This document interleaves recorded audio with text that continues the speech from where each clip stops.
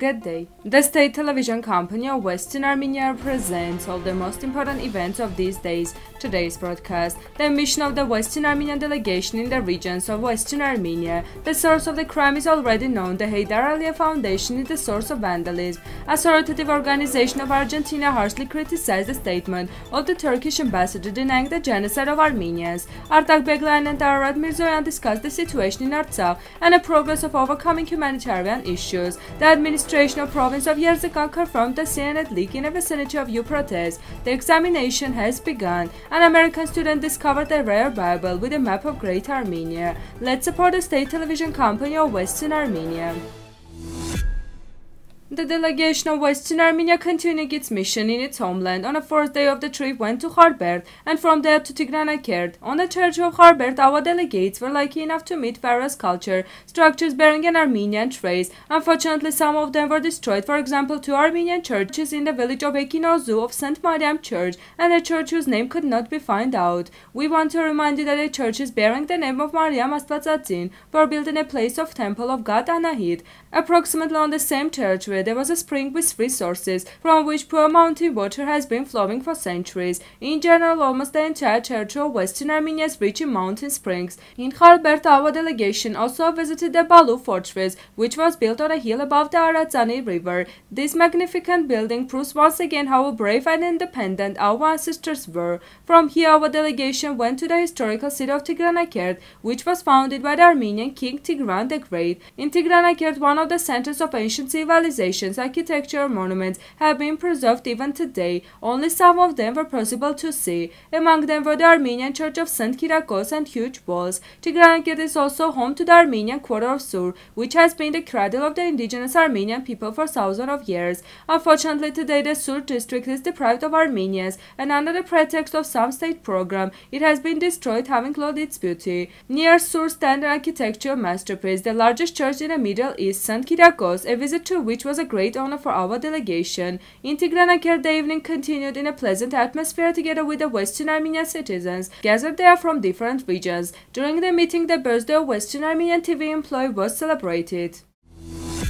Western Armenian Culture Minister Rafik Ortoshan wrote on his Facebook page, From the message of the Azerbaijan website OJK News dated July 17, we found out the church of the village of Nish was repaired by the Heydar Aliyev Foundation. The fact is the representatives of Azerbaijan's Muslim, Christian and Jewish communities visited the church of. Yerishe in the village of Nish on this day and expressed satisfaction with the repairment of the church. By the way, it was known that during these works in 2000s, two Armenian protocols of the church were erased and destroyed, but until now it was not known exactly which Azerbaijani body sponsored this case. Western Armenia constantly touches on such cases and states that neighboring countries extend their genocidal policy to cultural values. Hundreds of similar cases occurred after the genocide committed against the Armenians, when some Armenians were killed and another part was forced to leave their native territories, leaving their century-old culture in the same place, which today is distorted and eliminated by the occupiers.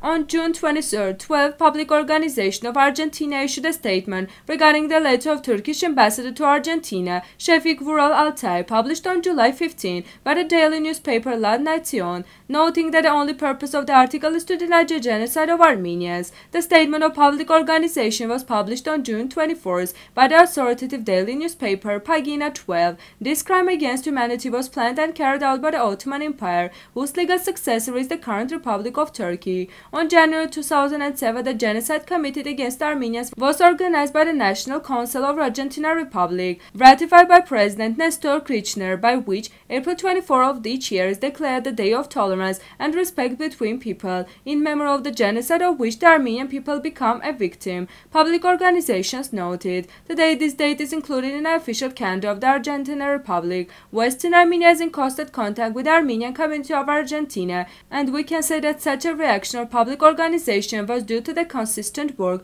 of the Armenian community. On June 24th, Armenian Foreign Minister Ararat Mirzoyan met with Artsakh State Minister Artak Beglarian. They discussed the situation in Artsakh as a result of Azerbaijan aggression in 2020 and the progress of overcoming humanitarian issues. In particular, the efforts made in international bodies to raise the rights of people of Artsakh, including a forcibly displaced population, and to solve the problems facing them were touched upon. In this context, Ararat Mirzoyan and Artak Beglarian stressed the need for implementation of international humanitarian organizations on the ground in order to comprehensively address the humanitarian and socio-economic consequences of the war. They exchanged views on the prospects for a peaceful and just settlement of the Artsakh conflict in a gold mine of the village of Chopler in the province of Yerzenka in western Armenia, a cyanide leak occurred, which according to some sources mixed with the earth and the Euphrates land. The administration of the province of Yerzenka issued a written statement noting that cyanide containing solution leaked due to the pipeline failure, but the same statement refutes the claims that a leakage of toxic substance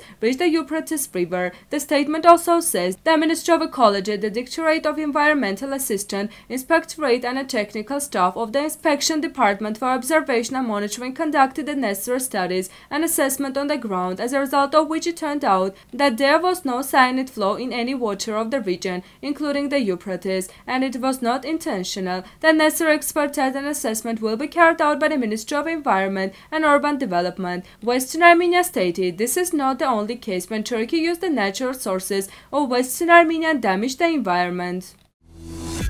A student from the American Portland, Sam Busan, found in the archive of Lewis and Clark College Library on an edition of Geneva Bible of 1599, the Bible of Queen Elizabeth I and Shakespeare, where Great Armenia is mentioned. The official website of American CBC TV channel reports. According to the report, experts say that in a rare edition of Bible, the main scriptures are represented by complex illustrations of a tree. In one of the section of Bible, the situation of the Garden of Eden, a map of ancient East and Great Armenia, Babylon and the Persian Gulf is depicted on a wooden board. The book is in a good condition. An inscription was found in a book showing that the edition was published in London by the publisher of Queen of England, Christopher Barker. According to the Oregonian, the Geneva Bible is the second oldest book in a college's collection, as they have another book that is about 500 years old.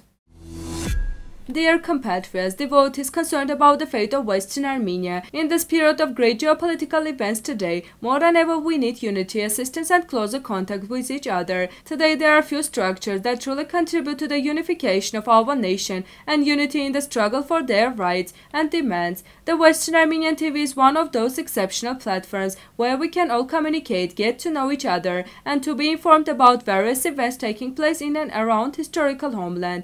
Your support will contribute to the further expansion of the information field as well as to fight more clearly and confidently for the protection and restoration of the violated rights of our grandfathers. Let's fight together for the sake of restoring justice. Together we can do more.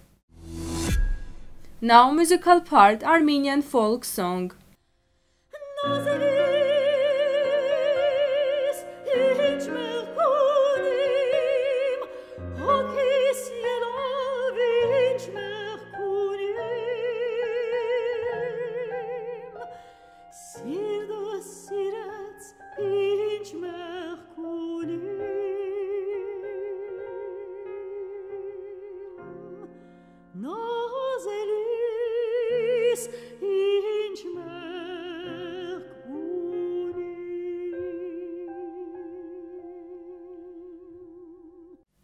The full version of this video is available on Western Armenia's YouTube channel. This was all for today. Goodbye.